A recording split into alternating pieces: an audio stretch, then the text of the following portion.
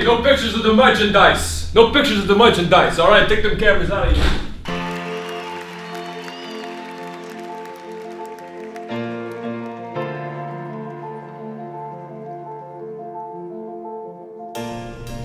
This is the final day of tour, the final show of the year, and the Final day in the studio for you. in the studio. Yeah, 2017. A lot of emotions. I'm about to start crying. I don't know about you, but uh, I already have cried. my eyes are sweating.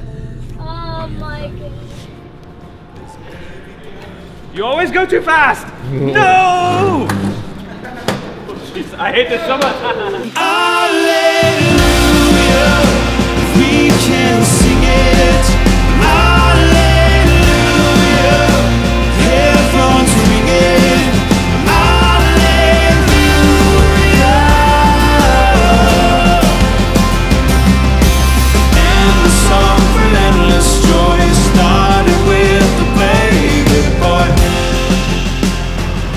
Last night of the tour. The last show of the year. I, I was writing today.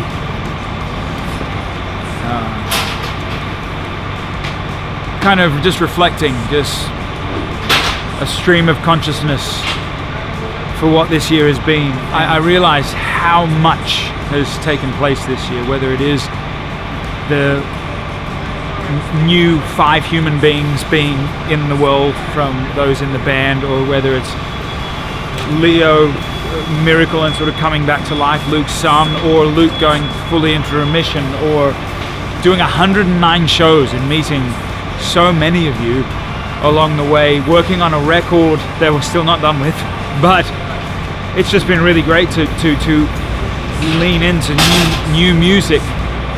Um, and then to kind of, you know, Timmy Jones transitioning out of the band, and now tonight, uh, which was so sweet and beautiful, but sending Blake Kanika um, kind of off into the sunset to uh, pursue new production endeavors and spend more time with his family. And it's been remarkable.